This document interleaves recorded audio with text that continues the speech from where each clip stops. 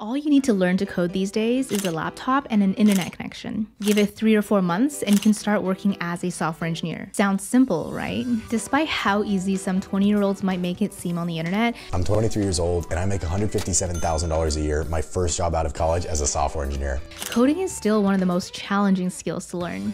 When I learned to code nearly a decade ago, I wasted so much time on tutorials that took me nowhere and memorizing syntax that ended up being useless. So in this video, I'm gonna go over what I would do if I had to learn to code all over again, the resources that would, I would use, and the pitfalls to watch out for.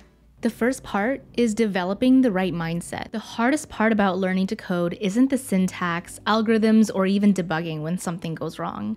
It's showing up day after day, dealing with one frustration after another, and not knowing if all this work is even going to pay off. There will be moments when you'll question whether or not you even have what it takes, but you need to understand that literally everybody goes through the same thing. Once you accept that it will be difficult and that it's only temporary, it actually gets easier. In the book, The Dip by Seth Godin, he describes these moments as the slog between starting and mastery, when the excitement of starting to learn has worn off and the difficulty has set in. But it's the fact that most people won't be able to push through this dip that makes it so valuable and keeps out the people that aren't as serious. When you're just starting to code, the biggest risk is you losing motivation because it turns out to be a lot harder and takes more time than you initially thought. You might see someone on YouTube learn to code in four months and assume that it's going to take you the same amount of time but everybody starts from a different spot and someone with a technical background in math or engineering they're going to be able to pick up the concepts and the logic a lot faster. So there's really no point in comparing yourself. Five years from now it's not really going to matter that much whether it took you a year or four months to learn to code. A good idea would be to be realistic with what other commitments you have on a day-to-day basis and how much time and energy you can actually dedicate to learning to code. From personal experience and talking to peers and what i see online online, it's not uncommon to hear people taking six months to more than a year of full time study in order to become employable as a developer. If I had to start learning all over again, the next thing I would focus on is how to learn efficiently. In the book Ultra Learning, the author completed a challenge where he learned the entire MIT CompSci curriculum on his own, online, and passed all the exams within a year. I know I literally just mentioned setting realistic expectations, but this book blew my mind in regards to showing me what our true potential was. After reading this book, I came to realize that the way we were taught to learn in school was completely ineffective. The methods we were conditioned to use, like passively watching a lecture and rote memorization, was often a huge waste of time. I could go on and on about all the methods discussed in the book, and if you want to dig deeper, I highly recommend you read the book. But for the sake of time, I'm going to mention two of the key methods that I think are really relevant here. First, you should be constantly testing yourself. As soon as you learn a new concept, I'd try applying it to an application, or if you need additional questions, I would even ask ChatGPT for more questions to test your knowledge. By the way, if you enjoy these videos on the tech industry and software development, make sure to give me a like and subscribe so you don't miss an upload. AI, with all of its downsides and problems, is an absolute game changer when it comes to helping you learn to code and test yourself. And I only wish I had access to something like this back when I was learning to code. For example, if you've just learned about JavaScript promises, the next thing you can do is prompt ChatGPT for more challenges and questions testing your understanding in increasing difficulty. The second method is practice spaced repetition. Sometimes I want to cry just thinking about all the tutorials I watched and the books that I've read only to forget the information a few days later. Learning new things without consistently practicing the things that you've already learned is probably the single biggest waste of time. Studies have shown over and over again that spaced repetition and active recall are some of the most effective strategies to encode new information into long term memory. Essentially, what you want to do is review what you've just learned a day or so after you've learned it, and then gradually increase the time in between the reviews. I'll be the first to admit I didn't do this enough because it's so much more enjoyable to learn new information, but I wasted so much time pouring into a leaky bucket. So if I could go back in time, I'd make sure to make coding a daily habit and actively apply past concepts that I've learned to new projects to ensure I don't forget them entirely. I can't stress how important it is for your motivation and long term success to knock out a few quick wins early on. Nothing drains your excitement more than spending hours in the beginning trying to set up your local environment before you can even do anything. For complete beginners with absolutely no background in coding, I would actually check out Codecademy because there is no setup required.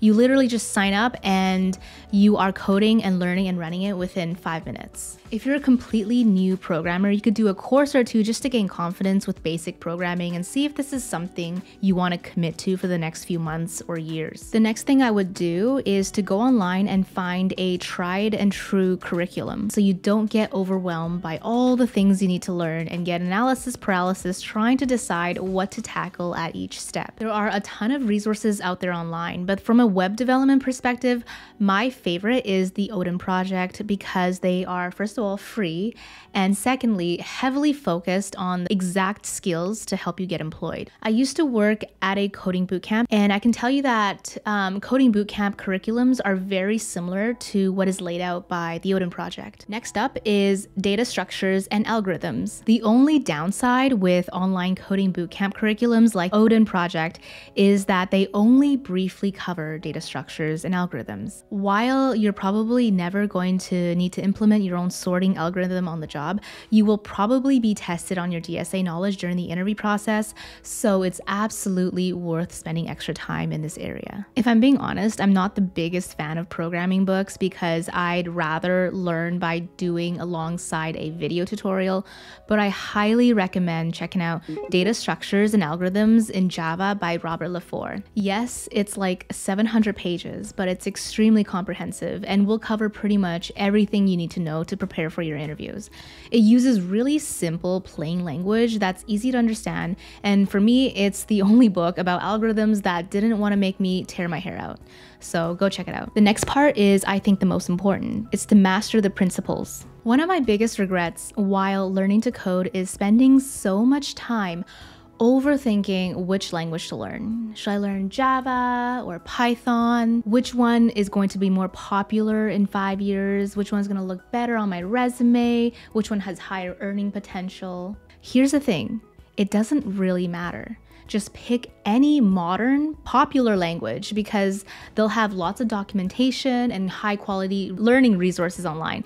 And as a bonus, it might make you more hireable understanding the principles behind one language deeply is far more useful than being just okay at a bunch of different languages. Now, speaking of understanding underlying principles, today's sponsor Brilliant can help you out with interactive, easy to follow courses on a variety of topics like computer science fundamentals. If you're a junior developer, Brilliant's a fantastic place to start learning to code. The courses walk you through visual puzzles and challenges that get you to think critically right off the bat. Most courses are are designed to be accessible from anywhere and in as little as 15 minutes a day. I've used Brilliant to learn more about topics that I'm always curious about and that are really relevant today, like quantum computing and data analysis.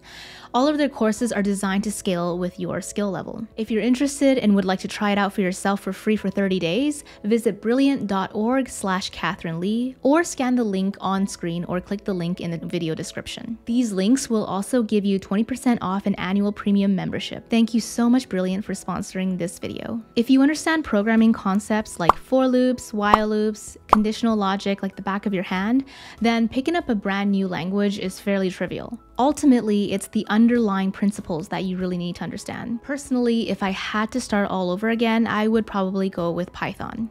It resembles natural language the most without being overly verbose, and most importantly, it's beginner friendly and popular. Like I mentioned before, because it's so popular, that's going to mean that there's a lot of high quality learning resources and documentation online for Python, as well as lots of jobs available once you're ready to start looking. All right, now it's project time. By Now, you should have already created a few applications by following tutorials, and now it's time to do a couple of bigger projects. When it comes to picking a tech stack, I also wouldn't stress too much because the focus here is getting practice solving real problems and applying the knowledge that you've, you've accumulated into real life scenarios. If I were to start my own project today, I'd probably use React for the front end, Node.js and Express for the backend, and Postgres as my database. This tech stack is fairly popular with lots of good documentation and support online, and it's flexible enough that I can add more to it as I need. When it comes to picking what to build,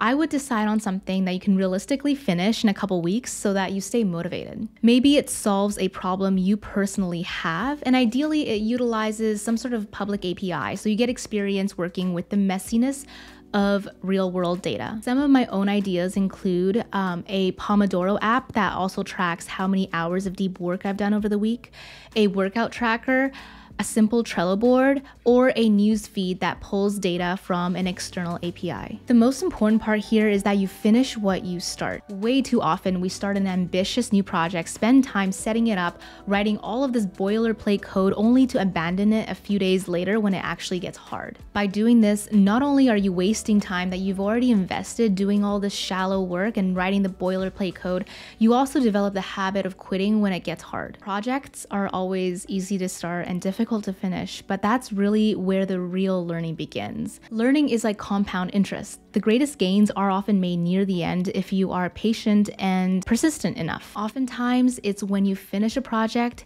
when you reap the rewards of deep understanding and finally begin to develop mastery. If you enjoyed this video, I did another one recently that goes deeper into the biggest mistakes that made coding a lot harder than it needed to be. Thank you so much for watching, and I will see you over there.